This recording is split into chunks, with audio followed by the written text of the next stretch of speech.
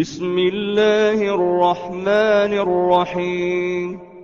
هل أتى على الإنسان حين من الدهر لم يكن شيئا مذكورا؟ إنا خلقنا الإنسان من نطفة أمشاج نبتليه فجعلناه سميعا بصيرا إنا هديناه السبيل إما شاكرا وإما كفورا الحمد لله الحمد لله نحمده ونستعينه ونستغفره ونؤمن به ونتوكل عليه. ونعوذ بالله من شرور أنفسنا ومن سيئات أعمالنا. من يهده الله فلا مضل له ومن يضلله فلا هادي له. ونشهد أن لا إله إلا الله وحده لا شريك له. ونشهد أن سيدنا محمدا عبده ورسوله.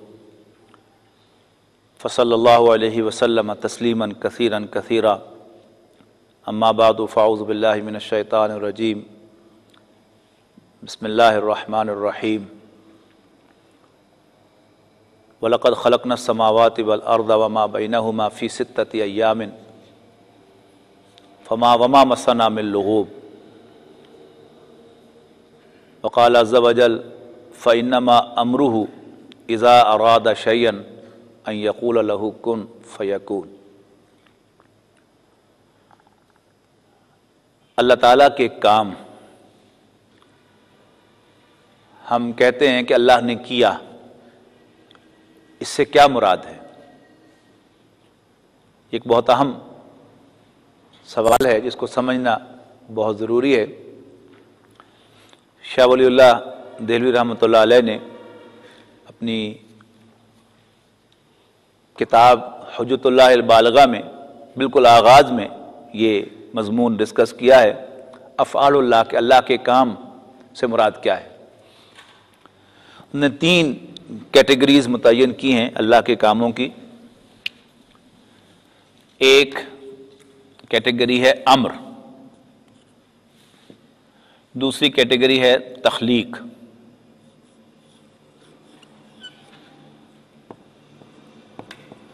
اور تیسری کیٹیگری ہے تدبیر۔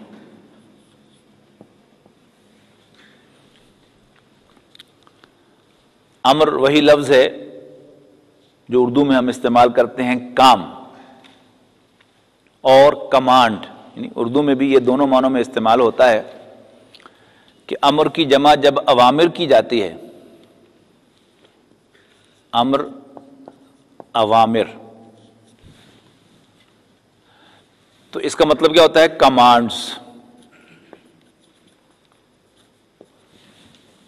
عوامر و نوائی کہتے ہیں نا، امر بالمعروف۔ تو وہاں امر کا مطلب کیا ہوتا ہے؟ حکم دینا۔ تو اس کی جمع آتی ہے عوامر۔ لیکن واحد وہی ہے امر۔ کبھی اس کی جمع امور بھی آتی ہے۔ تو اس کا مطلب کیا ہوتا ہے؟ کام۔ میں نے بہت سے امور سر انجام دیے یعنی میں نے بہت سے کام سر انجام دیے۔ تو یہاں جب امر آتا ہے تو اصل میں کمانڈ کے معنوں میں آتا ہے کہ اللہ تعالی کی کمانڈ کا عالم یہ ہے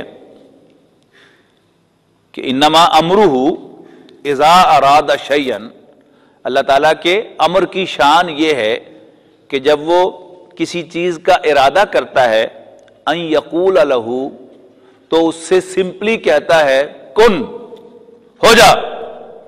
فیقون دیر اٹ از اور وہ ہو جاتا۔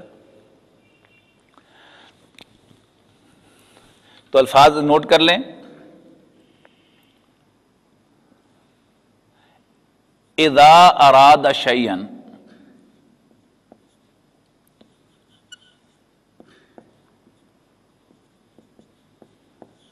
ان یقول لہو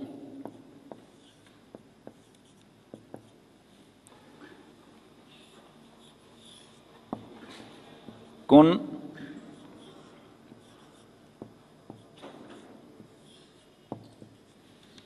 اس کو ہم انورٹڈ کامرس میں کر دیتے ہیں تاکہ نمایاں ہو جائے انڈر لائن بھی کر دیتے ہیں کن فیکون یہ عام بھی محاورے میں استعمال ہوتا ہے تو علامہ اقبال نے اسی کو کہا ہے نا کہ یہ کائنات ابھی نا تمام ہے شاید کہ آ رہی ہے دمادم سدائے کن فیکون بہت خوبصورت شعر ہے۔ یہ کائنات ابھی نا تمام ہے شاید کہ آ رہی ہے دمادم سدائے کن فیکون۔ اللہ تعالیٰ کے امر کی شان یہ ہے کہ جب وہ کسی چیز کا ارادہ کرے تو اس سے سمپلی کہتا ہے، ہو جا۔ فیکون اور وہ ہو جاتا ہے۔ دوسری ہے اللہ تعالیٰ کی تخلیق۔ انگریزی میں ترجمہ اس کا کیا جائے گا؟ کریشن۔ اب کریشن کی نیچر کیا ہے؟ وہ بھی قرآن مجید کی میں نے آپ کو آیت سنائی، سورہ قاف کی ولاقت خلق نل ولاقت خلق نہ سماوات ولردا و ماں بینا ہما فی ستت ایام اور ہم ہی نے آسمانوں اور زمین اور جو کچھ ان کے درمیان ہے، اس کو چھ دنوں میں پیدا فرمایا۔ ایک تو یہاں بس صرف یہ وضاحت ذہن میں رکھ لیجیے کہ یہ چھ دن اللہ کے ہیں، ہمارے نہیں ہیں۔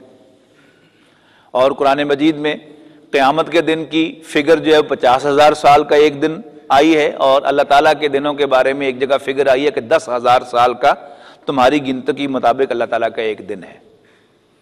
تو اگر یہ دس ہزار بھی فگر مانی جائے تو کتنے سال ہو گئے اس کائنات کی تخلیق کے لیے؟ ساٹھ ہزار سال جو تھے وہ لگے ہیں۔ اور یہ فگر ایسے ہی بس ملٹیپل کے معنوں میں بھی ہو سکتی ہے۔ اٹ میں بھی سکسٹی ملین ایئرز بھی ہو سکتے ہیں۔ اور سکسٹی ٹریلین ایئرز بھی ہو سکتے ہیں وی ڈونٹ نو لیکن ایک چیز جو ہے وہ بہرحال اس سے ثابت ہوتی ہے کہ جو بھی اللہ تعالیٰ کی تخلیق کا پروسیس ہے، یہ ٹائم ٹیکنگ ہے۔ لہذا شاہ صاحب نے یہ وضاحت کی ہے، ان دونوں کو کمپیئر کیا ہے کہ امر کے اندر نمبر ایک،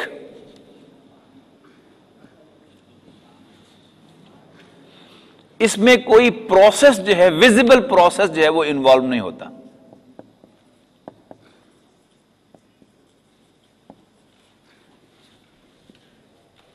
نو ویزیبل پروسیس نمبر دو نو ٹائم انوالومنٹ یعنی اللہ نے حکم دیا اینڈ دیر اٹ از فوراً وہ کام جو ہے وہ ہو جاتا ہے. یہ کیا ہے؟ یہ اللہ تعالیٰ کے امر کی شان ہے. اس کے مقابلے میں تخلیق جو ہے، اس کے بارے میں بالکل اس کے اپوزٹ دو چیزیں ہوں گی. تخلیق میں، نمبر ایک، اس میں کوئی پروسیس انوالوڈ ہوگا۔ پروسیس انوالوڈ اور ٹائم ریکوائرڈ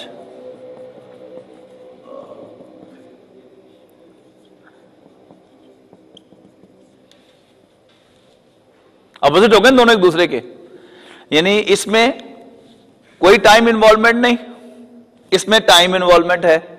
اس میں کوئی ویزیبل پروسیس نہیں۔ یعنی ویزیبل کی وضاحت میں کروں گا کہ کیوں میں ویزیبل کہہ رہا ہوں۔ جبکہ اس میں ویزیبل پروسیس ہوگا۔ جیسے انسان کی تخلیق پریگنینسی جو ہے وہ ایٹ نائن ٹین منتھس لیتی ہے۔ یعنی وہ کس میں کیا ہو رہا ہوتا ہے؟ یعنی a child is being produced تخلیق ہو رہی ہے نا ایک بچے کی۔ اور ہم نے ایمبریولوجی میں اس کا سارا پروسیس اسٹڈی بھی کر لیا۔ تو ویزیبل پروسیس انوالو ہو رہا ہے اس میں اور ٹائم بھی انوالو ہو رہا ہے اس کے اندر۔ تو وہ کیا ہے؟ وہ تخلیق کا پروسیس ہے۔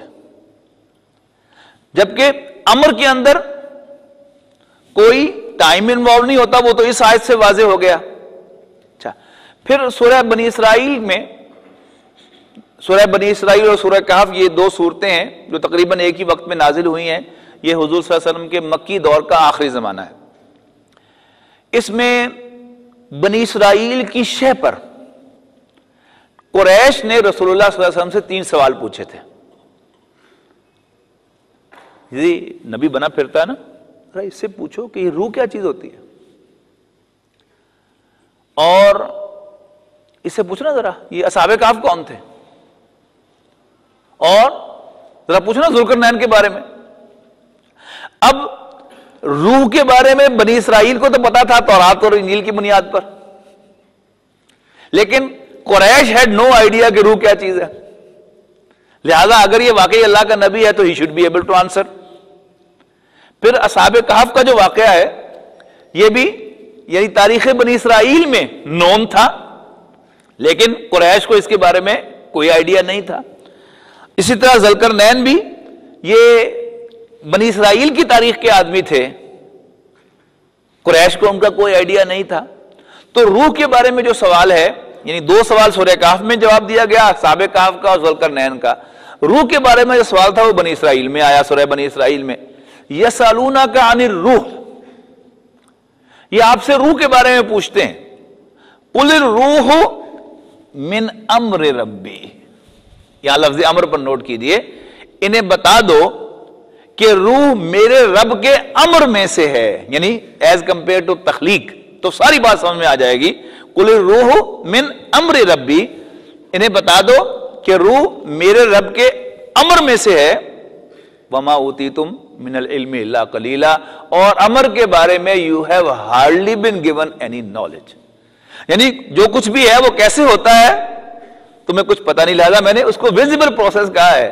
اللہ تعالیٰ کے ہاں اس کا کوئی پروسیس ہو نہ ہو، لیکن کم سے کم وہ ہماری ویژن میں یا ہماری گریس میں یا ہماری کمپریہنشن میں وہ علم جو ہے وہ نہیں آ سکتا۔ لہذا اس پر غور کرنا بھی فیوٹائل ایکسرسائز ہے اور اس کو زیر بحث لانا بھی فیوٹائل ایکسرسائز اگر ہم کوشش کریں بھی تو وہ ہماری گرفت میں نہیں آ سکتا، اس لیے کہ ڈکلیئر کر دیا گیا کہ تمہیں اس کے بارے میں ہارڈلی کوئی علم دیا گیا۔ کلیئر ہو گیا؟ اچھا۔ اب تیسری چیز کیا ہے؟ وہ ہے تدبیر۔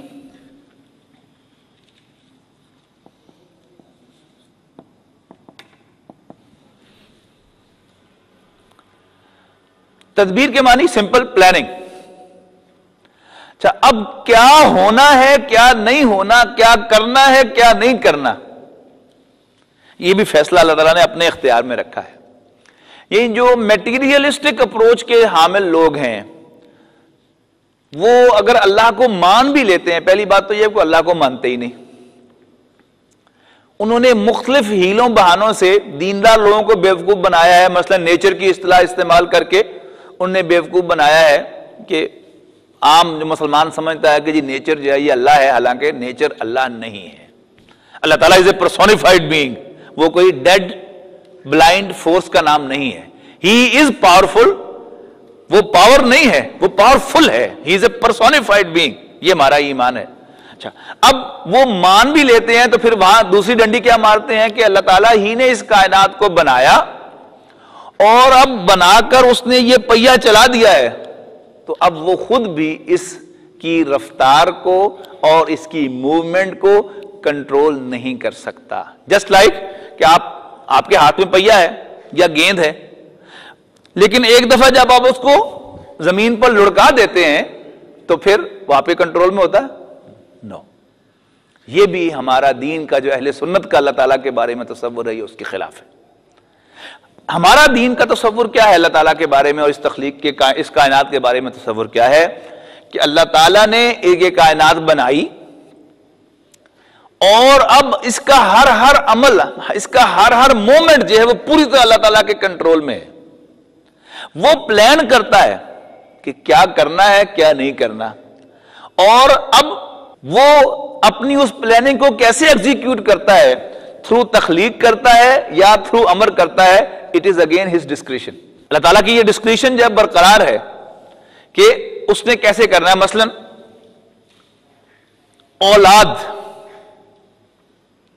عام جتنی بھی اولاد پیدا ہوتی ہے، وہ اللہ تعالی کے فیصلے سے تخلیق کے تھرو ہوتی ہے۔ لیکن حضرت مریم کو اولاد دینے کے لیے اللہ تعالیٰ کا فیصلہ کیا ہوا کہ وہ امر سے دینی ہے؟ ہوگی کہ نہیں ہوگی؟ یہاں بھی فیصلہ اللہ تعالیٰ ہی کا ہوتا ہے۔ نہیں ایسا نہیں ہے کہ آٹومیٹکلی ہو جاتی ہے، نہیں۔ وہ تدبیر اللہ کرتا ہے کہ فلاں کو اولاد دینی ہے، فلاں کو بے اولاد رکھنا ہے۔ فلاں کو بیٹے دینے ہیں، فلاں کو بیٹیاں دینی ہیں۔ اور باقی سب کو مکس کر دینا ہے۔ بیٹے بھی دے دینی ہے دینے ہیں اور بیٹیاں بھی دے دینی ہیں۔ بڑا خوبصورت یہ مقام ہے سورہ شورا کا۔ کہ آسمانوں اور زمین کی بادشاہی اللہ کے پاس ہے۔ یخلق ما یشا وہ جو تاتا ہے، تخلیق فرماتا ہے۔ یہ بلی میشا و ناسم وہ یہ بلی میشا دکور جسے چاہتا ہے بیٹیاں دیتا ہے اور جسے چاہتا ہے بیٹوں سے نوازتا ہے۔ او یو ذکرانم و اناسا، یا بیٹے اور بیٹیاں دونوں کو کمبائن کر دیتا ہے یعنی مکسڈ آف سپرنگ دیتا ہے۔ وہ یجالو میشاؤ عقیمہ اور جسے چاہتا ہے بے اولاد رکھتا ہے۔ یہ اس کی ڈسکرپشن ہے، کوئی اس کو چیلنج کر سکتا؟ نو اللہ تعالیٰ کے ناموں میں سے ایک نام کیا ہے؟ البدی بھی ہے نا؟ دین میں نا؟ البدیو اور قرآن مجید میں فرمایا گیا بدی السماوات والارض، اللہ تعالیٰ کے بارے میں کہ اللہ تعالیٰ آسمانوں اور زمین کا بدی ہے۔ یہ بدی وہی لفظ ہے جسے بدت بنا ہے انوویشن اچھا اللہ تعالیٰ آسمانوں اور زمین کا بدی ہے۔ اس کا کیا مطلب ہے کہ اللہ تعالیٰ کریٹر ایکس نہیلو ہے۔ یعنی یہ جو تخلیق ہوتی ہے، اس کا پروسیس ہوتا ہے نا۔ مثلا یہ بورڈ کیسے بنا؟ پہلے سے چپ بورڈ موجود تھا فارمیکا موجود تھا، لکڑی موجود تھی، کیل موجود تھے۔ بڑائی نے کیا کیا؟ اس میٹیریل کو خاص طریقے سے کاٹا، تراشا، اس کو فنش کیا اور ایک خاص فیشن سے اس کو جوڑ دیا تو یہ بورڈ وجود میں آ گیا۔ اور چپ بورڈ کیسے بنا تھا؟ وہ بھی پہلے سے ایک ایگزٹنگ میٹیریل تھا کہ چپ بورڈ کی فیکٹری کے اندر through a certain process taking certain time وہ چپ بورڈ بنا تھا۔ ٹھیک ہے؟ پھر وہ چپ بورڈ کے اندر جو بننے میں جو میٹیریل تھا وہ بھی آسمان سے تو نہیں آیا تھا۔ یعنی وہ بھی کوئی برادہ ہے، کوئی لکڑی کے ٹکڑے ہیں، کوئی درخت کے حصے ہیں، وہ سب بھی ایک پروسیس کے تحت ہو کر آئے ہیں۔ تو یہ سارا کا سارا کیا ہے؟ تخلیق کا ایک پروسیس ہے کہ جس کے تھرو یہ سب کچھ جو ہے وہ بن رہا ہے۔ لیکن جب اس کائنات میں اللہ کے سوا کچھ نہیں تھا، تو اللہ کریٹڈ سم تھنگ وہ کیا ہے؟ اسے کہتے ہیں ابدا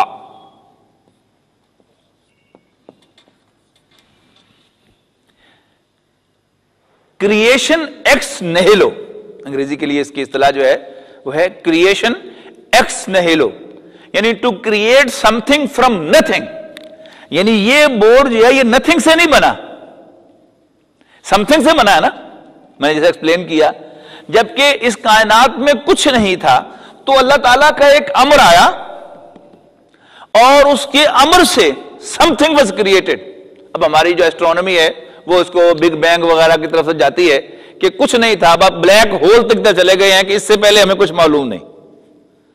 مے بی ابھی ان کی انڈرسٹینڈنگ غلط ہو، لیکن اس حد تک تو بہرحال ہے کہ nothing was there and first of all something was created وہ کیا ہوا؟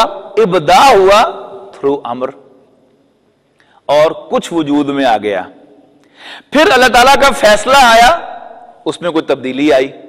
اور پھر اللہ تعالیٰ نے تخلیق کا ایک پروسیس جو ہے اس کے ذریعے سے اس کائنات کو اس فیشن میں کریٹ کر دیا۔ اب اس کے لیولز ہیں جس میں اسٹڈی کیا جاتا ہے۔ مثلا اس کے بڑے بڑے لیولز جو ہماری سائنس کے اندر آتے ہیں۔ ایک ہے ایسٹرونومی اس کے بعد پھر اسی کا ایک حصہ زمین ہو گئی۔ اب زمین کے اندر کیا کیا چینجز آئی؟ وہ جیولوجی نے اسٹڈی کر لیا۔ ٹھیک ہے؟ اس کے بعد پھر لائف اس لائف کے اندر کیا ہوا؟ یہ بایولوجی کے اندر آ گیا۔ اس بایولوجی کے پھر آگے دو حصے کے پلانٹس کے اندر کیا کیا چینجز آئی اس کو بوٹنی نے اسٹڈی کر لیا اور جو لیونگ انڈیویجلز ہیں، جان، حیوانات، وہ زولوجی کے اندر آ گئے۔ اب یہ سب کیا ہے؟ یہ تخلیق کے اس پروسیس کو اسٹڈی کرتے ہیں۔ اچھا۔ اب ہوا کیا؟ کہ چونکہ انہوں نے اس کائنات کی تخلیق کے اس پروسیس کو ایک بلائنڈ آٹومیٹک پروسیس سمجھ لیا۔ لہذا اب اس پہ جو چینجز آتی ہیں، ان کو ایکسپلین کرنا پڑا انہیں کہ یہ چینجز کیسے آئیں۔ مارک نے کہا کہ جی انوائرمنٹل فیکٹر جو ہیں، وہ سپیچز کو بدلتے ہیں۔ کہ تھا گھوڑا ہی لیکن وہ کسی ایسے علاقے میں تھا کہ جہاں بہت اونچے اونچے درخت تھے، لہذا وہ گردن لمبی کرتے کرتے کرتے وہ زرافہ بن گیا۔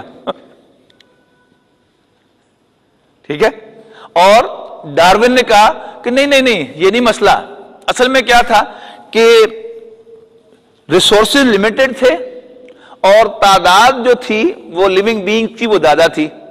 تو اسٹرگل فار ایگزٹینس ہوئی۔ اور جن میں سے سروائیول آف دی فٹسٹ ہو گئی جو بہتر تھا، اس نے دوسروں کو بگا دیا یا مار دیا اور فٹسٹ جب وہ سروائیو کر گیا، کس لیے؟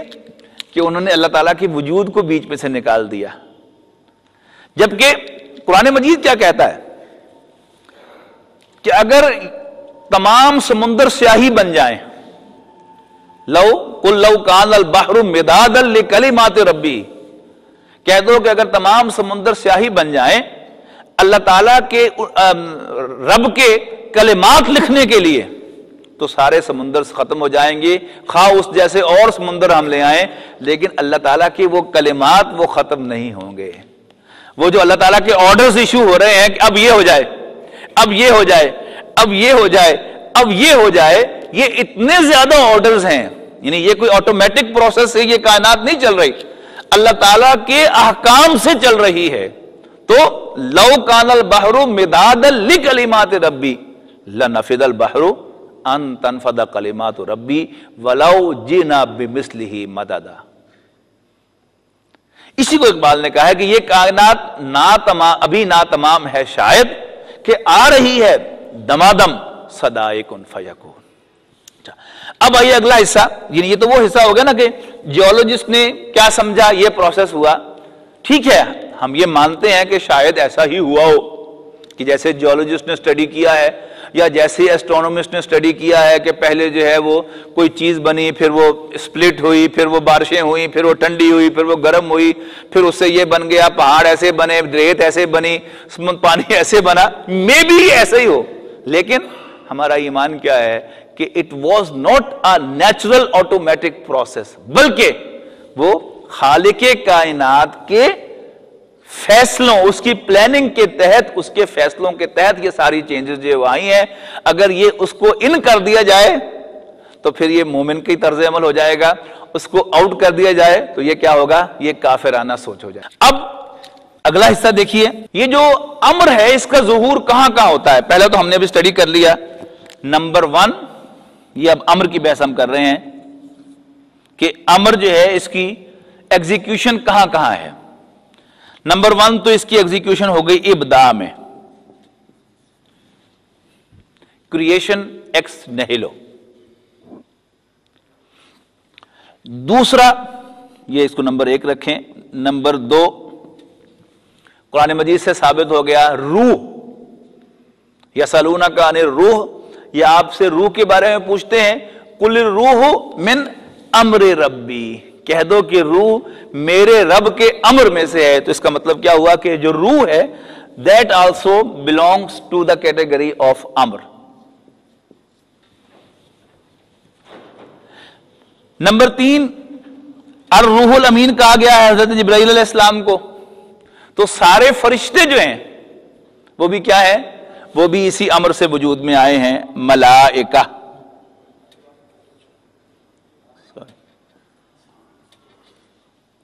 ملائکہ فرشتوں کا وجود جو ہے وہ بھی کریشن سے نہیں ہوا، امر سے ہوا ہے۔ اچھا پھر موجزات کا ظہور، کہ اللہ تعالیٰ نے تخریق کا ایک پروسیس بنایا ہے۔ اب ہمارے ہاں جو یعنی وہ جو میں نے کہا نا کہ مسلمان ہونے کے باوجود بھی جو اس سیکولر مائنڈ کا مائنڈ سیٹ کے ساتھ جو ہے وہ قرآن مجید کی تفسیر کرنے بیٹھتا ہے، تو وہ ساری بھی یہ جھک مارتا ہے۔ کہ اس کائنات میں اللہ تعالیٰ نے جو قوانین بنا دیے ہیں، اللہ تعالیٰ بھی ان قوانین کو چیلنج نہیں کر سکتا۔ یہ کر سکتے کا لفظ استعمال نہیں کرتے، لیکن نہیں کرتا۔ یہ وہ کہتے ہیں۔ اس پر ایک بڑی دلچسپ ہمارے یہاں ڈیبیٹ بھی ہوئی تھی انفارچونیٹلی یعنی انڈو پاک کی ہسٹری میں ایک میں سمجھتا ہوں کہ انہیلدی ڈیبیٹ یعنی کچھ تو ڈیبیٹس ہوئی نا کفار کے درمیان اور مسلمانوں کے درمیان، عیسائیوں اور مسلمانوں کے درمیان۔ جیسے شیخ احمد دات نے کام کیا، مولانا رحمۃ اللہ کرانوی نے کام کیا۔ لیکن کچھ ڈیبیٹس ہمارے یہاں گندی ڈیبیٹس بھی ہیں۔ دیوبندی بریلوی آپس میں لڑ رہے ہیں، اہل حدیث اور حنفی آپس میں ڈیبیٹ کر رہے ہیں۔ یہ میں ان کو گندی ڈیبیٹس کہتا ہوں۔ انہی میں سے ہماری دو بڑی ٹاپ کی شخصیات کے درمیان ایک مناظرہ ہوا تھا۔ شاہ اسماعیل شہید کے درمیان اور، کیا نام تھا ان کا؟ مولانا فضل خیر کے درمیان۔ یعنی حنفی علماء میں حنفی، غیر دیوبندی، غیر بریلوی میں ایک بہت بڑی فگر تھی مولانا فضل خیر آبادی بہت بڑے عالم تھے۔ ادھر اہل حدیث کے یعنی ٹاپ شاہ اسماعیل شہید تھے۔ تو ڈیبیٹ اس بات پر ہوئی کہ کیا حضور صلی اللہ علیہ وسلم کا کوئی ڈپلیکیٹ پیدا ہو سکتا ہے؟ کہ کیا حضور صلی اللہ علیہ وسلم کی نظیر پیدا ہو سکتی ہے؟ اب اس میں اس حد تک بھی گئے۔ یعنی ایک گروہ کا کہنا تھا کہ اللہ تعالیٰ اس پر قادر ہے کہ وہ جو چاہے کرے۔ جیسے اس نے حضور صلی اللہ علیہ وسلم کو پیدا کر دیا، تو وہ کسی اور، محمد کو بھی پیدا کر سکتا ہے وتھ سملر کوالٹیز یار ایون بیٹر تو دوسرے میں زد میں کا زد میں یہ تک کہہ دیا کہ محمد صلی اللہ علیہ وسلم جیسے اللہ تعالیٰ وعدہ اللہ شریک ہے، محمد صلی اللہ علیہ وسلم بھی بے نظیر ہیں۔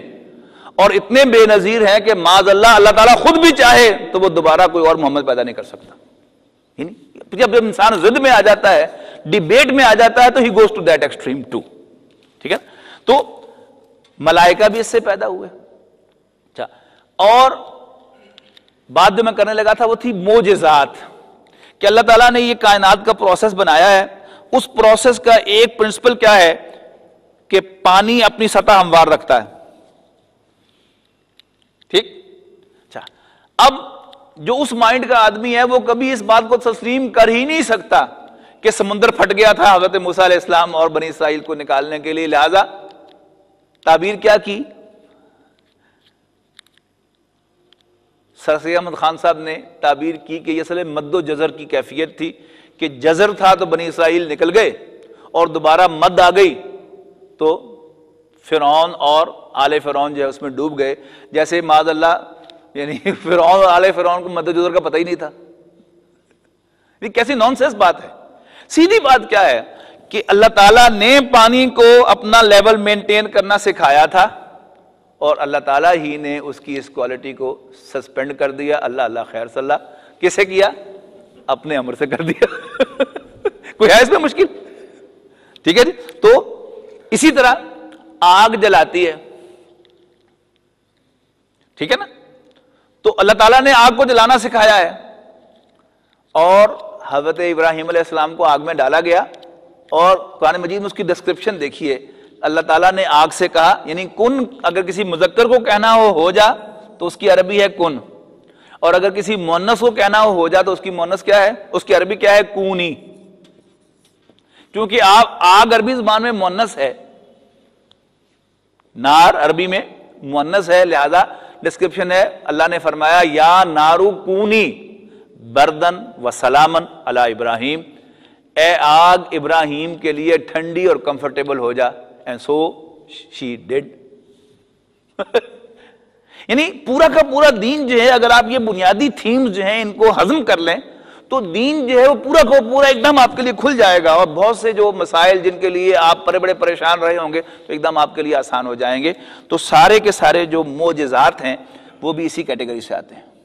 تو یہ کیا ہے؟ اللہ تعالیٰ کا امر کہ جب اللہ تعالیٰ کسی کام کا، کسی چیز کا فیصلہ کر لے، اذا اراد، یہ آیت بھی سب کو یاد ہی ہوگی، سورہ، اس کی، سورہ یاسین کی آیت ہے، اذا فینما امرو اذا اراد شیئن این یقول لہو کن فیقول کہ اللہ تعالیٰ کی، کہ امر کی شان یہ ہے کہ جب وہ کسی کام کا ارادہ کرتا ہے تو اس سے کہتا ہے، ہو جا، اور وہ ہو جاتا ہے۔ وی ڈو، جیسے پہلے بات آئی تھی ان لیکچرز میں دروس میں، کہ we don't have to teach Allah کہ تو میرا یہ کام کیسے کر۔ ٹھیک ہے نا؟ Allah knows his job very well تو وہ تخلیق سے کرے، تدبیر سے کرے، امر سے کرے لیٹ ہم ڈو ہز جاب ہمیں صرف اللہ تعالیٰ کے سامنے اپنی فریاد رکھنی ہے کہ ہم تیرے محتاج ہیں، بندے ہیں، ساڈا خیال رکھیں۔ ٹھیک ہے جی؟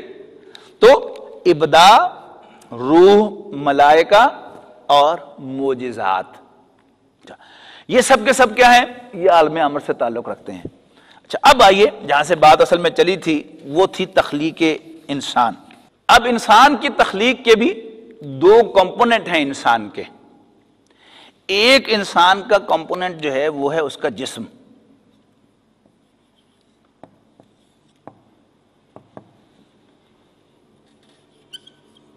جسم جمع روح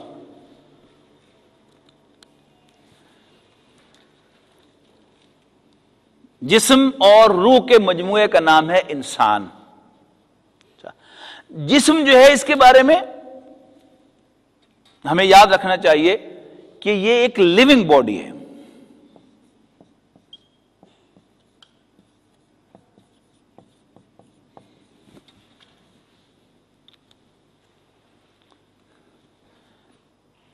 یعنی جسم ہونے کے اعتبار سے ایک آبجیکٹ ہونے کے اعتبار سے یہ بھی آبجیکٹ ہے، ایک مکھی، وہ بھی آبجیکٹ ہے، انسان بھی ایک آبجیکٹ ہے، لیکن مکھی، انسان، بھینس، مچھر، ٹھیک ہے جی ہاتھی، یہ سب کیا ہے یہ لیونگ آبجیکٹس ہیں لیونگ بینگز ہیں۔ اچھا لیونگ بینگ میں اور غیر لیونگ بینگ میں فرق کیا ہے؟ یعنی اس کو کیمسٹری کی زبان میں کہیں گے تو وہ ان آرگینک ہے اور یہ آرگینک ہے۔ اچھا آرگینک میں کیا ہوتا ہے؟ اس میں سیلز ہیں اور ان کے اندر لائف کا تصور ہوتا ہے۔ لائف ہوتی ہے اور سیلز ہوتے ہیں۔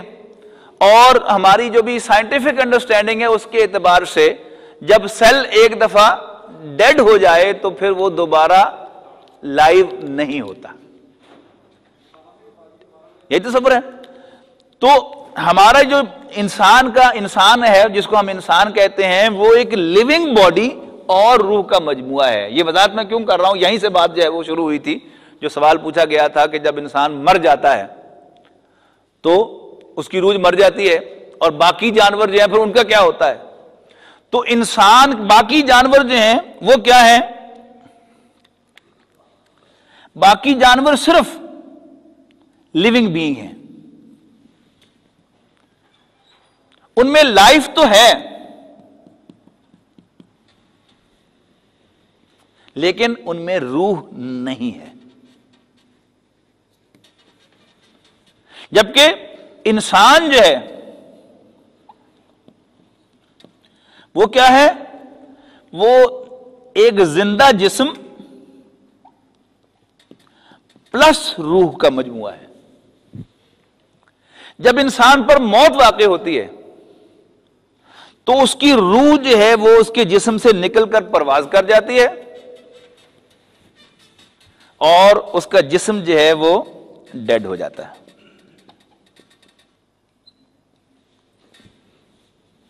اچھا، پھر اس جسم کو اگر آپ غور کریں تو انسان کا جسم جو ہے وہ کیا ہے؟ یہ کیسے بنتا ہے؟ یعنی یہ جسم تخلیق کے پروسیس سے بنتا ہے۔ یعنی آدھا ماں کی طرف سے آیا ہے، آدھا باپ کی طرف سے آیا ہے۔ اور اس کا تسلسل آدم علیہ السلام تک جا رہا کہ نہیں جا رہا؟ اس میں کوئی شک ہے کسی کو؟ یعنی آدم علیہ السلام سے ایک لیونگ سیل جو ہے، وہ کنٹینیو کر رہا ہے to me and even to my of اس میں کوئی انٹرپشن ہے؟ نہیں ہے۔ لیکن وہ وجود جو ہے، ایک تو وہ ایک سیل جو ہے، وہ ایکس ہیلو نہیں ہے، بلکہ اس کی ایک ہسٹری ہے جو پیچھے سے آ رہی ہے۔ پلس فردر جو وہ ڈیولپ ہوتا ہے، وہ بھی تخلیق کے پروسیس کے تحت ڈیولپ ہو رہا ہے نا۔ اللہ کا حکم تو شامل ہے اس میں۔ یعنی اس کی ماں جو ہے، وہ جو خوراک کھا رہی ہے، اسی سے وہ سیل جو ہے، وہ ایکسٹریکٹ کر کے تو گرو کر رہا ہے۔ پھر اسی سے وہ ڈیوائڈ ہو رہا ہے، اسی سے پھر وہ ملٹیپلائی ہو رہا ہے۔ تو سارا کا سارا وہ تخلیق کا پروسیس ہے۔ اور اس کی ساری کی ساری نائٹروجن ہو کاربن ہو فاسفورس ہو زنک ہو یعنی جو بھی اس کے کمپوننٹس ہیں وہ کہاں سے ہیں؟ وہ سارے ارلی کانسیپٹ ہے کہ نہیں؟ کانسٹیچوئنٹس ہیں کہ نہیں ہے لہٰذا یہ انسان کا جسم جو ہے، یہ زمینی یعنی مٹی سے بنا ہے۔ قرآن مجید کا محاورہ اس کے لیے کیا ہے؟ کہ ہم نے تمہیں مٹی سے بنایا ہے اور اس میں ہمیں کوئی شک نہیں ہے۔ پھر دفن ہونے کے بعد جاتا بھی کہاں ہے؟ مرنے کے بعد۔ دوبارہ وہ مٹی میں دفن ہو جاتا ہے۔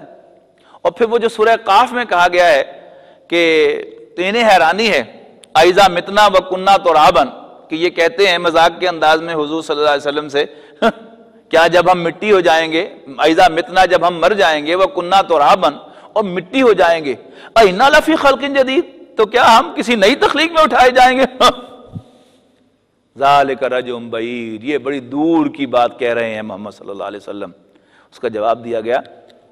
ہاں قد علمنا ما تنقص الارض منہم وعندنا کتاب حفیظ ہمیں معلوم ہے کہ زمین نے ان کے جسم میں سے کیا کھایا ہے اور ہمارے پاس بڑا محفوظ ڈاکومنٹ ہے یعنی ہمارے کمپیوٹرز پورا پورا اس کو ریکارڈ کر رہے ہیں۔ ہم ایک حکم دیں گے یعنی وہی امر سے پھر حکم آئے گا نا۔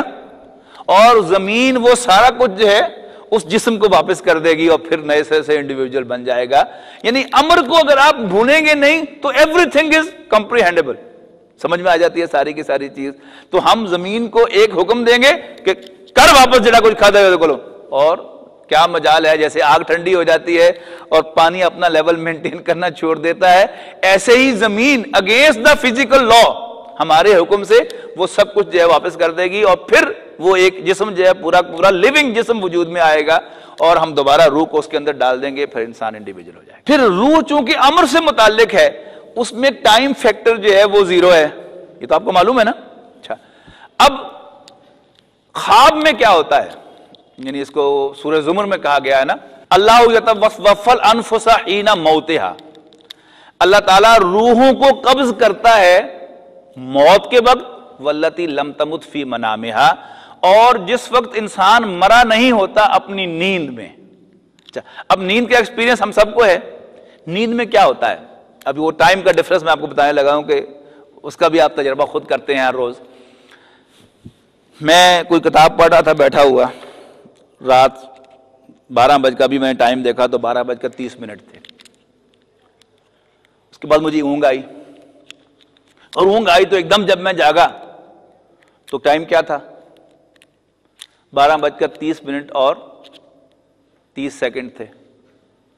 لیکن اس اونگ کے دوران مجھے خواب میں جو ایکسپیرینس ہوا، وہ ہمارے اس دنیا کے ٹائم ٹیبل کے حساب سے سالوں پر محیط تھا۔ تو روح کا جو ایکسپیرینس ہے، وہ بھی اس دنیا کے ٹائم فریم سے آؤٹ ہے۔ اور اللہ تعالیٰ جو ہے، روح کو قبض کرتا ہے موت کے وقت بھی اور نیند کے اندر بھی۔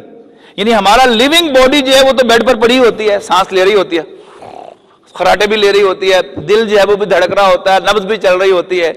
یعنی لنگز بھی کام کر رہے ہیں کڈنیز بھی کام کر رہے ہیں لیور بھی کام کر رہا ہے برین بھی کام کر رہا ہے۔ ٹھیک؟ دل بھی دھڑک رہا ہے۔ Everything is that of a living body لیکن روح جو ہے وہ جسم سے لگا ڈیٹیچ کرتا ہے۔ ڈیٹیچ کر کے اس کو کوئی ایکسپیرینس سیر کرا کے لاتا ہے۔ یعنی ہزاروں میل کی سیر کر کے آتا ہے یعنی خواب میں آپ کو اس پندرہ سیکنڈ کے اندر یا تیس سیکنڈ کی جو آپ کو اونگ آئی ہے، بعض اوقات آپ امریکہ سے ہو کے آ جاتے ہیں۔ ٹھیک ہے؟ جس کو چاند کے زیادہ خیال آتا ہے ممکن ہے وہ چاند سے بھی ہو کے آ جائے۔ لیکن بہرحال ایک ایکسپیرینس تو ہوتا ہے نا انسان کا۔ لیکن اب آپ اس کو، ہمارا جو اس زندگی کا ٹائم فریم ہے، اس میں آ کے فٹ کریں گے، تو اس میں تو گزرے سے صرف تیس سیکنڈ۔ اور وہ تیس سیکنڈ بھی میں نے وہ آپ کو نوٹ کروایا ہے کہ جو آپ کے ٹائم دیکھنے کا وقت ہے۔ ممکن ہے آپ کو جو اونگ آئی ہے اس میں، وہ ایک سیکنڈ کی ہو یا دس سیکنڈ کی ہو۔ لیکن اس دنیا کے ٹائم گھڑی کے مطابق وہ دس سیکنڈ اس روح کے، اس ایکسپیرینس کے اعتبار سے، اس سیٹ اپ کے اعتبار سے وہ بہت زیادہ جو ہے وہ لمبا چوڑا ہے۔ تو یہ روح کا ایکسپیرینس ہے۔ تو روح جو ہے وہ ایک سیپریٹ چیز ہے۔ اور انسان کا جسم جو ہے وہ ایک سیپریٹ چیز ہے۔ موت میں کیا ہے؟ تو کام ہوتے ہیں موت میں۔ انسان کی جو لیونگ باڈی ہے، وہ لائف فنکشن چھوڑ دیتی ہے ڈیڈ ہو جاتا ہے سیل اور دوسرا یہ ہوتا ہے کہ اس کی روح جو ہے، وہاں سے نکال کر وہ کسی اور جگہ لے جائی جاتی ہے۔ اور جب قیامت کا منظر ہوگا، تو دو کام ہوں گے پھر۔ جسم کو، زمین کو حکم ملے گا کہ ریپروڈیوس دا مین اگین یعنی جو کچھ تم نے اس سے حاصل کیا ہے، واپس کر دو۔ جسم بن گیا اور پھر لیونگ ہوگا، وہ اللہ کے حکم سے دوبارہ امر کے تحت اور روح آ کر دوبارہ اس کے ساتھ اٹیچ کر دی جائے گی، یہ آخرت ہے۔ اچھا اس دنیا میں جو انسان کی پہلی تخلیق ہے، اس میں روح کا کنیکشن کیسے ہوتا ہے؟ وہ بھی حادیث کے اندر بہت واضح کیا گیا ہے کہ رسول اللہ صلی اللہ علیہ وسلم نے فرمایا کہ انسان کی تخلیق اس کے رحم مادر میں یعنی مدرز ووم میں پہلے چالیس دن ہوتی ہے نطفے کی شکل میں۔ پھر چالیس دن ہوتی ہے علقہ کی شکل میں۔ پھر چالیس دن ہوتی ہے مزغہ کی شکل میں۔ اب یہ کیا چیزیں ہیں؟ یہ کوئی سٹیجز ہیں جسے حضور صلی اللہ علیہ وسلم نے اور وہ سٹیجز وہ ہوں گی کہ جو اس وقت معروف تھیں۔ وہ آج کی سائنس کی زبان میں تو نہیں۔ اس وقت کی عربی زبان میں جو رائج الفاظ تھے انہی کے اندر قرآن مجید یا حدیث میں بات کی جاتی ہے۔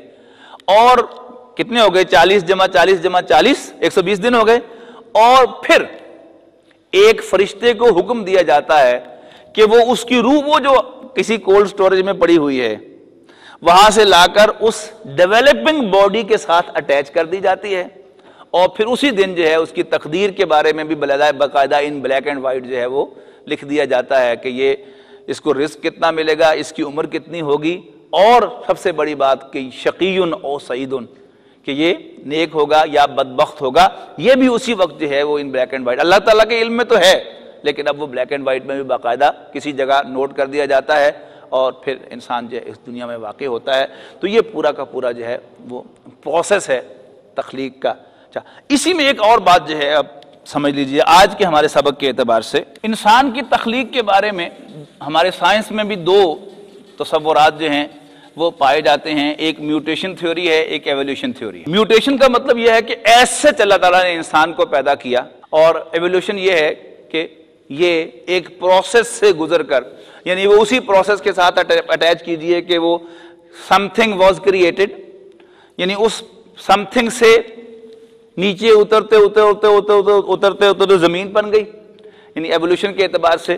پھر اس زمین پر یعنی مٹی اور پانی کے ملاب سے دلدل پیدا ہوئی. اس دلدل سے لائف کا آغاز ہو گیا.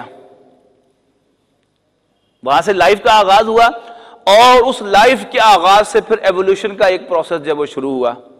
اور پہلے یونی سیلولر ایلیمنٹ بنے، پھر بائی سیلولر ہو گئے، پھر ملٹی سیلولر ہو گئے، پھر اس کے بعد بڑے ہو گئے، پھر میملز آ گئے، پھر میملز میں بھی ٹاپ پر انسان آ گیا۔ اب اس میں یعنی اس بات کی تو آپ کو نفی جو ہے وہ ذہن میں ساتھ ساتھ رکھنی ہوگی کہ not with an automatic process اگر ایسا ہوا بھی ہے، تو وہ اللہ تعالیٰ کے اس کن فیقون کے، ان کلمات کے عمل کے تحت ہوا ہے۔ اور اگر آپ ڈائریکٹلی مان لیں تو ویسا ہوا ہے۔ لیکن اس سے ہٹ کر اگر آپ چار لیولز آف کریشن کو سمجھ لیں whether you believe in evolution or you don't چار لیولز آف جو یعنی ہے نا کریشن کے، ان کو آپ کو ضرور سمجھ لینا چاہیے۔ پہلا لیول ہے فزیکل آبجیکٹس کا۔ فزیکل آبجیکٹس کی نیچر کیا ہے؟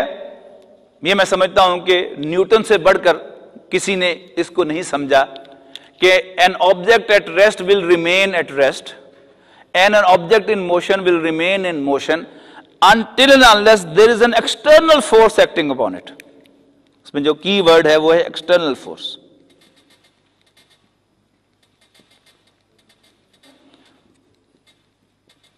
until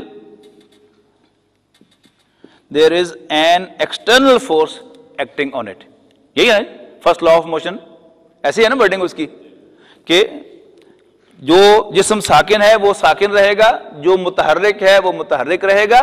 جب تک اس پر کوئی بیرونی قوت اثر انداز نہ ہو یعنی یہ فزیکل آبجیکٹ ہے، یہ پڑا ہے، اس کو میں دھکا دوں گا، تب تو یہ ہلے گا۔ یا کسی اور فورس سے ہوا کا جھونکا آئے، تب تو یہ ہلے گا۔ ورنہ یہ اپنی جگہ سے موو نہیں کر سکتا۔ This is the first law of motion اچھا۔ اس کے بعد کیا ہوا؟ لیونگ بینگز آ گئے۔ یعنی اگر آپ ایولیوشن پہ بلیو نہیں کرتے، تو آپ یوں کہیں گے کہ یہ آپ تیر نہ بنائیں، آپ یوں سمجھے کہ پھر ایک سٹیج ہے یا ایک کیٹیگری ہے سٹیج نہ کہیں۔ Then there is a category of living beings یا ایگزٹنگ تھنگس کہ جو لیونگ تھے، مثلا پلانٹس اب پلانٹس میں اور فزیکل آبجیکٹس میں کیا فرق ہے موومنٹ کے اعتبار سے؟ انٹرنل فورس آ گئی نا۔ یعنی یہاں پر کیا تھا؟ Without an external force there was no movement possible یہاں کیا ہوا؟ ایک انٹرنل فورس کی بنیاد پر موومنٹ شروع ہو گئی۔ ٹھیک ہے؟ اب تیسری کیٹیگری کو کنسیڈر کریں۔ وہ کیا ہے؟ اینیملس ان میں کیا ہوا کہ یہی جو موومنٹ آن دیئر اون تھی، وہ اور زیادہ جو ہے، وہ فریکوینٹ بھی ہو گئی اور فری فرام دس بھی ہو گئی۔ یعنی ایک پلانٹ جو ہے، ٹھیک ہے، اس کا تنا جو ہے وہ اوپر کو جا رہا ہے، جڑیں نیچے کو جا رہی ہیں، لیکن وہ اپنی باڈی لی تو فکس ہے نا ایک جگہ پر، یہاں سے یہاں موو نہیں کر سکتا۔ لیکن اینیملز میں کیا ہو گیا؟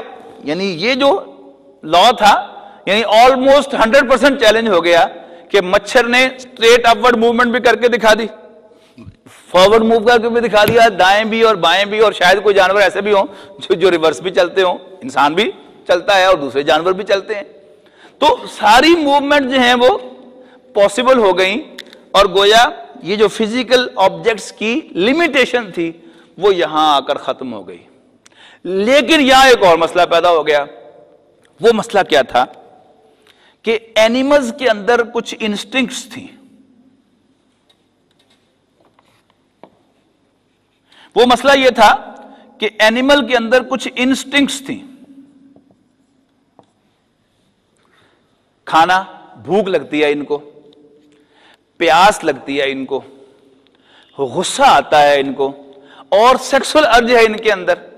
یعنی ان کی جو لائف کی سروائیول ہے یعنی آبجیکٹ کی حیثیت سے نہیں، اب لیونگ بینگ کی حیثیت سے ان کی سروائیول کے چار یہ بنیادی یعنی پلرز ہیں کہ جن پر لائف جو ہے وہ سروائیو کر رہی ہے۔ کھانا یعنی ایک لیونگ بینگ کھانا چھوڑ دے تو الٹیمیٹلی کیا ہوگا؟ ڈیتھ پینا چھوڑ دے تو ڈیتھ اور ریٹیلیٹ کرنا بالکل چھوڑ دے، تو اس پر دوسرا غالب آ کر اس کو مار جائے گا۔ اور موت اس کو بہارا لانی ہے۔ اگر یہ ریپروڈیوس نہیں کرے گا تو اس کا وجود ٹوٹلی ختم ہو جائے گا۔ اب ریپروڈکشن کی شکل میں اس کو ایک ری ایشورنس ہے کہ چلو میں نہیں، میرا پتر تو ہوئے گا نا۔ ٹھیک ہے نا؟ اب یہ چار انسٹنگس ہیں جن کی بنیاد پر اس کا جو لیونگ وجود ہے وہ برقرار رہتا ہے۔ اینیمل نے ان لمیٹیشن میں اپنے آپ کو آزاد کروا لیا ہوا ہے۔ یا یوں کہیے کہ اللہ تعالیٰ نے ان سے تو اس کو آزاد رکھا ہے، لیکن یہ خود اینیمل کے پاؤں کی بیڑیاں ہیں۔ ایک جانور کو جب بھوک لگ جائے تو اس کے پاس اور اس کا کھانا اس کی اپروچ میں ہو تو جانور کے پاس کوئی طاقت نہیں ہے کہ اپنے آپ کو کھانے سے روک سکے۔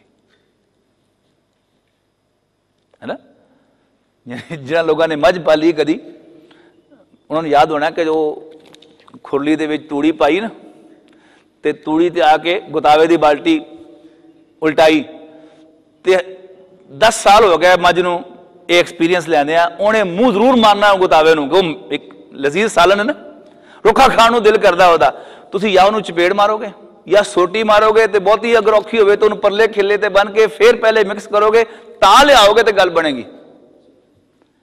انٹرنلی ایک بھینس کے پاس کوئی طاقت نہیں ہے کہ اپنے آپ کو کھانے سے روک سکے، جبکہ اس کو بھوک بھی لگی ہوئی ہو اور اس کی پسند کا کھانا بھی اس کے سامنے ود ان اٹس اپروچ موجود ہو۔ اللہ آ کے کوئی ایکسٹرنل طاقت اسے کھانے سے روک دے۔ ایک جانور کو پیاس لگی ہوئی ہے۔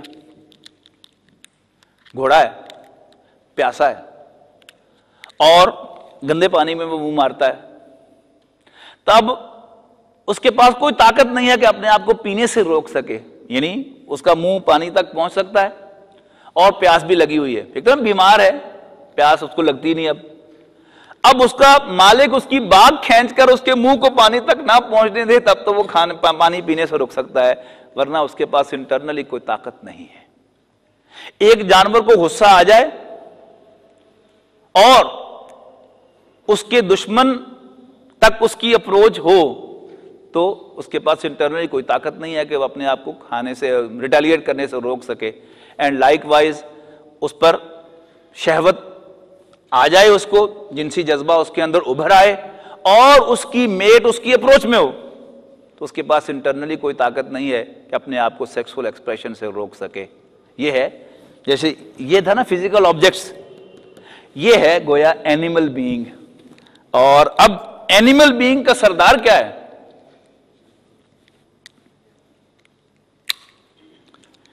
یہ ہے جی انسان۔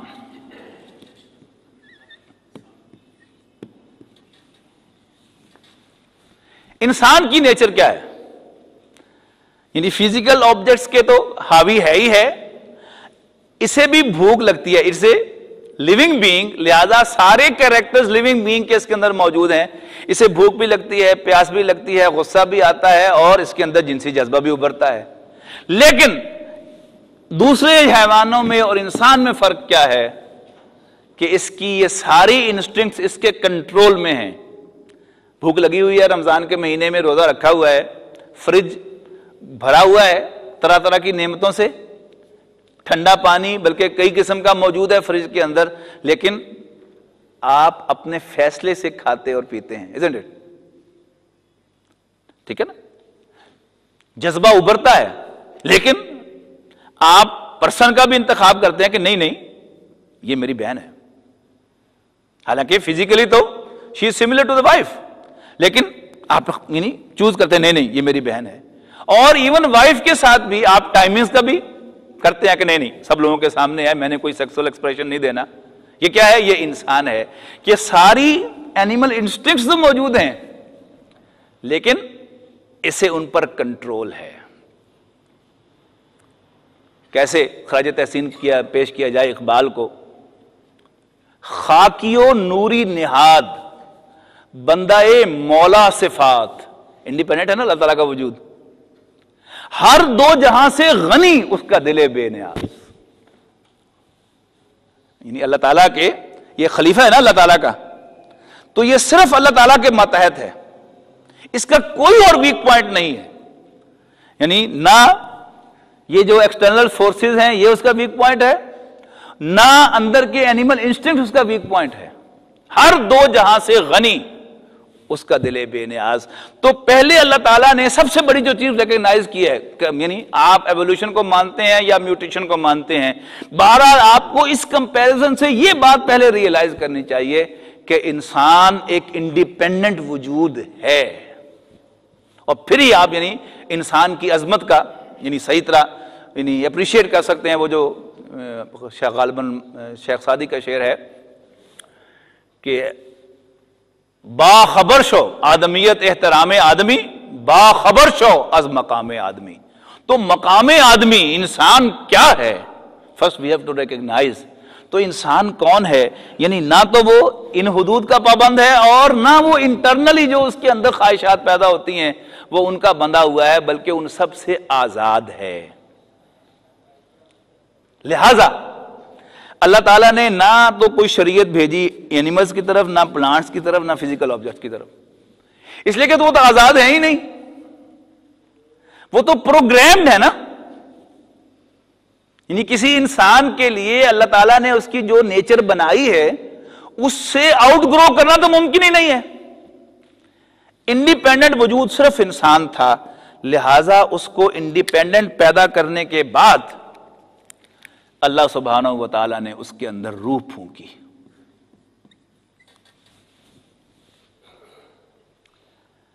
اب روح کے اندر کیا ہے؟ ایک تو یہ یاد رکھیے گا کہ عالم امر کی چیز ہے، عالم خلق کی چیز نہیں ہے۔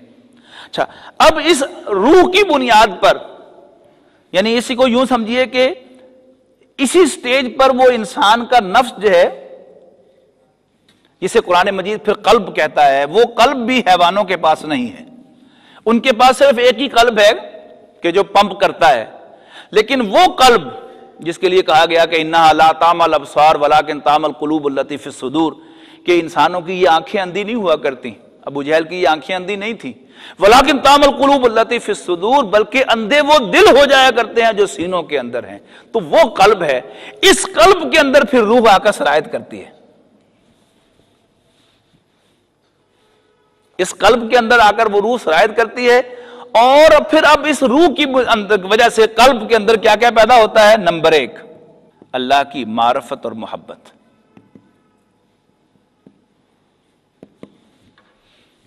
مسلم مولانا روم کا اصل موضوع چونکہ روح تھا نا، تو وہ آغاز کیسے کرتے ہیں کہ خشک تارو خشک چوبو خشک پوست، یہ جو انسٹرومنٹ ہوتے ہیں میوزک کے، یہ اس کی اصطلاحات ہے نا، تار، چوب۔ تو خشک تارو، خشک چوبو، خشک پوست۔ از کجا میں آیت ہی آواز دوست؟ کہ یہ جسم جو ہے، یہ تو ہنڈریڈ پرسینٹ فزیکل وجود ہے، لیکن اس کے اندر وہ جو اللہ تعالیٰ کی محبت کی، وہ جو دوست کی آواز کہاں سے آ رہی ہے؟ وہ روح کی بنیاد پر آتی ہے۔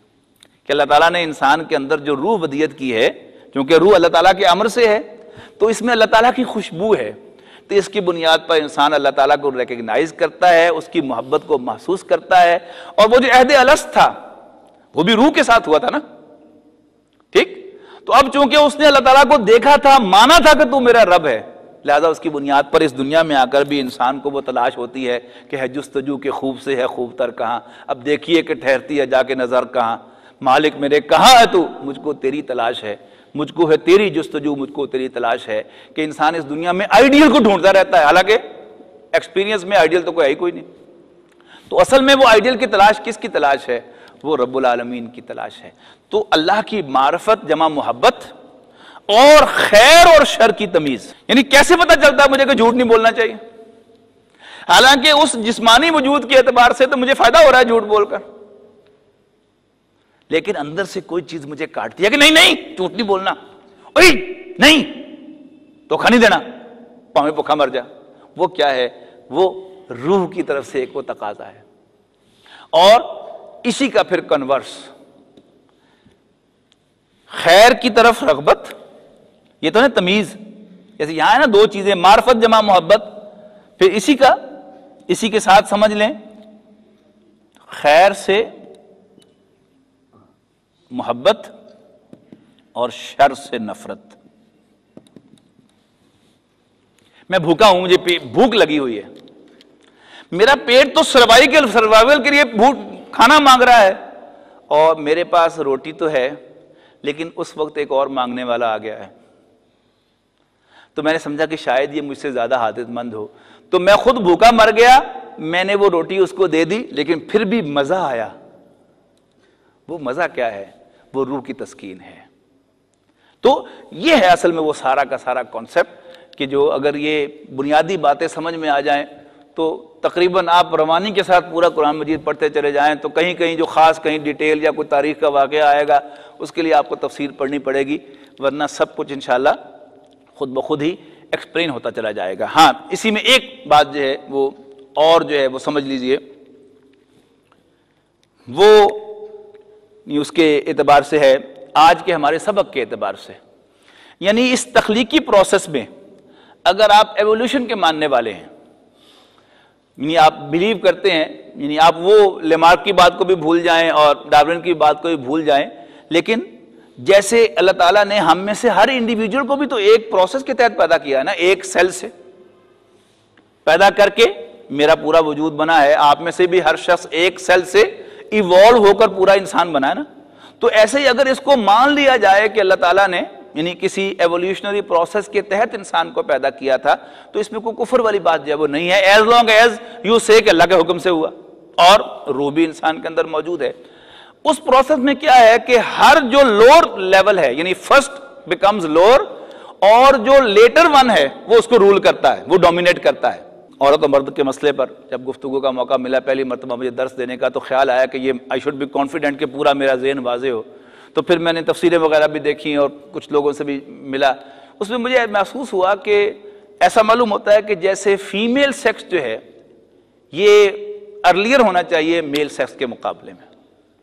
میں نے بہت سے لوگوں سے پوچھا، تو جو اینٹمولوجسٹ تھے یعنی تین، چار اینٹمولوجسٹ سے میری بات ہوئی تو with in without any hesitation انہوں نے کہا، میں نے ان سے پوچھا، سوال یہ کیا کہ جب یونیسیلولر اینیمل تھے، تو ان کے جو سیل کے اندر کروموسومز کی نیچر تھی، وہ ایکس ایکس تھی ایکس وائی تھی۔ یہ لوگ یعنی بایولوجی پڑھے ہوئے ہیں، وہ سمجھتے ہیں کہ جو کروموسومز ہوتے ہیں، جن کے اندر سارے کریکٹرز ہوتے ہیں، جو فیمیلز کے کروموسومز ہوتے ہیں، وہ سارے کے سارے پیئر جو ہوتے ہیں، وہ ایکسس ہوتے ہیں۔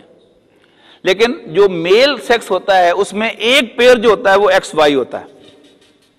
تو میں نے ان سے پوچھا کہ جی جب یونی سیلولر اینیمل تھا، تو اس میں یعنی یہ تو مجھے یاد تھا پڑا ہوا بایولوجی میں کہ وہاں پر اصطلاح ہوتی تھی مدر سیل ڈاٹر سیل یعنی فادر سیل سن سیل نہیں، بلکہ mother cell and daughter cell تو میں نے ان سے پوچھا کہ جی یہ جب یعنی نہیں تھا سیکس ڈفرینسیشن نہیں تھی، ایک ہی سیکس تھا۔ یعنی یونیسیلولر اینیمل ایک ہی سیکس تو اس کی نیچر جو تھی فیمیل سے سملر تھی سملر ٹو فیمیل تھی یا میل تھی، تو اینٹامولوجسٹ نے وداؤٹ اینی ہیزیٹیشن مجھے کہا کہ ایکس ایکس نیچر تھی، وہ فیمیل تھی۔ تو اس کا مطلب کیا ہوا کہ ایکس وائی جو ہے this is also an evolved form لہذا X X has to be a subservient of X Y تو اس سے بھی ثابت ہو گیا۔ پھر اس کو بھی اگر آپ فردر جو ہے وہ اس کو بھی آپ بھول جائیں، ایک طرف رکھ دیں کہ انسان کا وجود جو ہے، یہ دو چیزوں کا مجموعہ ہے۔ جذبات جمع، بریک۔ یعنی انسان کے جذبات جو ہیں وہ انسان کے اندر موومنٹ پیدا کرتے ہیں۔ اور ایک اللہ تعالیٰ نے انسان کے اندر فنومنن بنایا ہے جو جذبات کو کنٹرول کرنے والا فنومنن ہے۔ اچھا شراب جب انسان کو پیتا ہے، شراب کے نشے میں کیا ہوتا ہے؟ وہ بے ہوش تو نہیں ہوتا؟ اس کے لیے اس طرح کیا ہے؟ مد ہوش۔ لیکن ہوتا کیا ہے اس میں؟ اس میں انسان کی جو جذبات ہیں وہ ایکٹیو ہو جاتے ہیں۔ ہوتا کیا ہے؟ کہ یہ بریک فنومینن جو ہے انسان کا، یہ سپریس ہو جاتا ہے۔ تو جیسے گاڑی کی اگر بریک فیل ہو جائے گی تو کیا ہوگا؟ گاڑی آؤٹ آف کنٹرول ہو جائے گی۔ تو شراب میں کیا ہوتا ہے کہ بریک فنومینن جو ہے یہ سپریس ہوتا ہے اور انسان کے جذبات جو ہے وہ ایکٹیو ہوتے ہیں۔ اب ایک اور اینگل سے دیکھیں، مرد اور عورت میں کیا فرق ہے؟ یہ مرد ہے، یہ عورت ہے۔ تو ایکسپیرینس ہمارا کیا ہے؟ یعنی اس اعتبار سے بھی اگر آپ اس پورے ایولیوشن کے پروسیس میں سے گزر کر آئیں، تو نیچے کیا ہے؟ جذبات ہیں اور جو جو اوپر جا رہا ہے، جذبات پر کنٹرول بڑھتا چلا جا رہا ہے۔ تو اگر آپ اس پروسیس کو بلیو کرتے ہیں، تو اس کا مطلب کیا ہے؟ کہ man should have more control on his emotion as compare to the women اچھا اب مرد اور عورت میں فرق کیا ہوا؟ سے اگر آپ کوئی ریشو قائم کرنا چاہتے ہیں اٹ کین بی مور لیکن کم سے کم جو کیا ہوگا کہ جذبات اور بریک کا جو ریشو ہوگا کنٹرول کا، بریک کی بجائے کنٹرول کا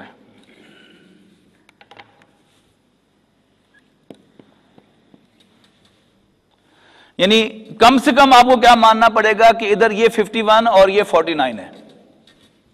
اور یہاں پر آپ کو یہ ماننا پڑے گا جذبات اور کنٹرول کا جو ریشو ہے، وہ یہاں پر 49 آپ کو ماننا پڑے گا اور یہاں پر 51 ماننا پڑے گا۔ تو مطلب کیا ہوا کہ عورت جو ہے، وہ مرد کے زیادہ مقابلے میں زیادہ ایموشنل ہے۔ اچھا رہا یہ کنٹرول تو یہ کنٹرول کیا چیز ہے؟ یہ اصل میں قرآن مجید کی اصطلاح میں اس کا نام ہے عقل۔ عقل کے معنی ذہانت نہیں ہے بلکہ بریک فنومنن کہ اپنے جذبات پر کنٹرول جو ہے، اس کا نام عقل ہے۔ اس لیے کہ عربی زبان میں آئین قاف، لام کا مادہ آتا ہے باندھنے کے لیے۔ اور عرب اقال اس رسی کو کہتے تھے کہ جس سے عرب بدو اپنے اونٹ کا گھٹنا باندھتا تھا۔ اور جب وہ سوار ہوتا تھا تو پگڑی کے اوپر اس رسی کو باندھ لیتا تھا۔ اب عرب جو ہے، وہ اونٹ پر تو سوار نہیں ہوتا، مرسیڈیز اور کیڈلک پر سوار ہوتا ہے۔ لیکن آج بھی اس کا جو ٹریڈیشنل جو اس کی ایک ہے علامت ہے، وہ وہی اقال ہے۔ آج بھی اس کو اقال کہتے ہیں جو ان کے رومال کے اندر وہ اب تو وہ سونے کی تاروں کی بھی ہوتی ہیں اسٹیٹس سمبل کے طور پر استعمال ہوتی ہیں۔ تو آج بھی اسے اقال کہا جاتا ہے۔ تو انسان کی شخصیت میں اس کے جذبات کو باندھنے والی چیز جو ہے، وہ کیا ہے؟ وہ عقل ہے۔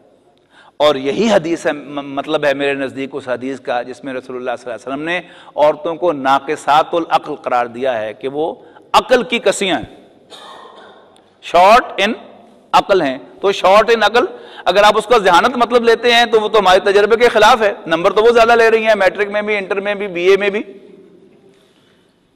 لیکن یہ بھی ہمارا تجربہ ہے کہ وہ عقل جو ہے وہ واقعی ان میں کم ہے۔ اور یہی وجہ ہے کہ چونکہ وہ جذباتی ہے، لہذا اللہ تعالیٰ نے اس کو طلاق کا اختیار نہیں دیا۔ مرد کے اندر بھی جذبات ہیں، لیکن جذبات کے ایکس پریس کرنے میں اللہ تعالیٰ نے مرد کو ایک کنٹرول عطا کیا ہے۔ لہذا اللہ تعالیٰ کی وہ جو حکمت آئی تھی نا بات، کہ اللہ جو ہے وہ العزیز بھی ہے آل مائٹی بھی ہے اور آل وائز بھی ہے۔ تو اللہ تعالیٰ نے اس کی وزڈم جو ہے، اس کا تقاضا بھی یہی تھا کہ اللہ تعالیٰ وہ جو ایگزیکیوشن پاور جو تھی، اس کی وہ مرد کے حوالے کرتا، عورت کے حوالے نہ کرتا کیونکہ عورت جو ہے وہ ریلیٹیولی زیادہ جذباتی واقع ہوئی ہے۔ تو ہمارا اصولی مضمون تو مکمل ہو گیا۔ آگے پھر ان جذبات کی بھی ریش ہو قرآن مجید نے اس مضمون کو بھی اخیر کر دی ہے کہ مرد کے جذبات کو بھی قرآن مجید نے ڈسکرائب کر کے چھ کی ایک پوری لسٹ دے دی ہے۔ سورہ عال عمران کی آیت نمبر چودہ بڑی زبردست آیات میں سے ہے، جس میں وٹ اٹریکٹس مین اس کی ایک لسٹ آئی ہے۔ اچھا اس لسٹ میں کیا ہے؟ نمبر ون عورت ہے۔ نمبر دو بیٹا ہے۔ نمبر تین دولت ہے۔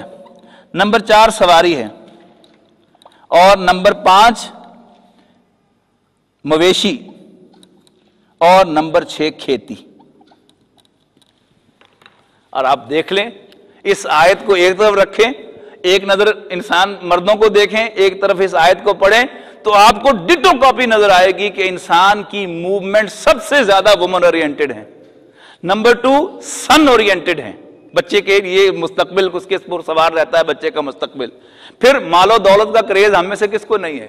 اور مرد کے ویک پوائنٹس میں سے برانڈیڈ رائڈ یعنی صرف رائڈ نہیں کہا یعنی کہا کیا الفاظ کے ول خیج المسوما نشان زدہ گھوڑے۔